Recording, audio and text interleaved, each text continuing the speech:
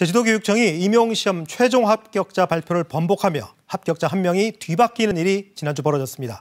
교육청이 사과했지만 일부 불합격자와 학부모가 시험 공정성에 문제를 제기하며 공무원 시험의 신뢰도마저 금이 갔습니다. 보도에 허지영 기자입니다.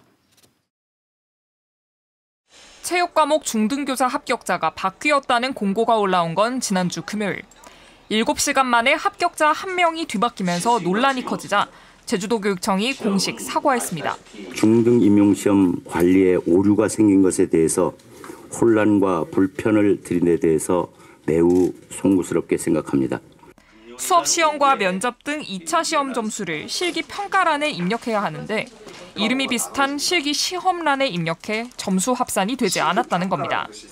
총점 200점 만점에 30점이 빠졌는데도 체육 과목 응시자 평균 점수가 낮다고만 생각했다는 게 교육청의 해명입니다.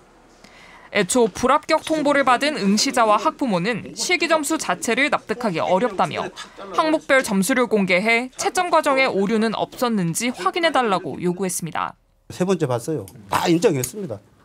오늘도 인정하려 도저히 인정을 못합니다. 아이들 것만 알, 알면은 내가 왜 떨어졌는가 알 수 있단 말. 그런 아들을 달랠 수 있죠.